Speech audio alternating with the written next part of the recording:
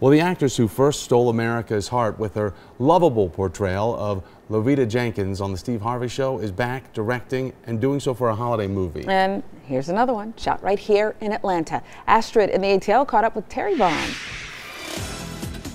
Terri Vaughn is serving up the holiday spirit with the premiere of a new original movie, Merry Wishmas. She's become a Hollywood sweetheart and talks to me about her journey and her latest film. Oh no, not my setting. Actress, producer, and director Terri Vaughn kept us laughing for years as the adorable Lovita in the Steve Harvey show. And as you know, I am not afraid to act out in public.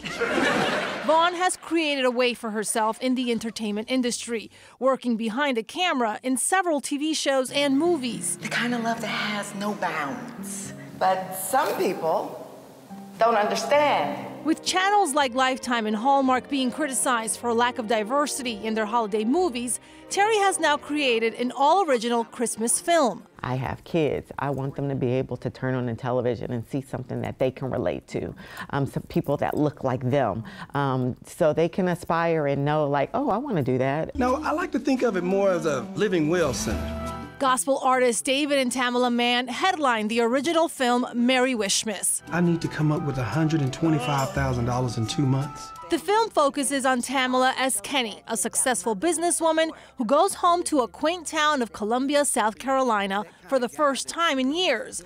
But what she hopes will be a tranquil visit turns into drama. I can't put my money into a sinking ship. Oh, so this is about business to you. It has a heart.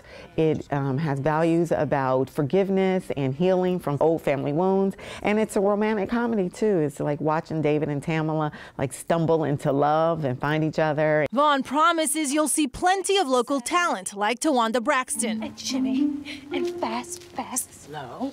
And maybe a small cameo by Vaughn herself. I did a, a little, a little thing. I did a little pop, a little pop in.